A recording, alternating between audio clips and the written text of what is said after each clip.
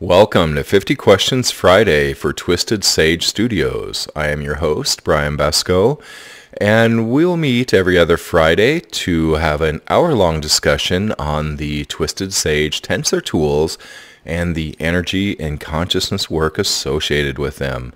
So please do join us live if you wish, where you can ask questions and join the chat with others, or you can simply send in an email with your questions, which will be answered on that Friday.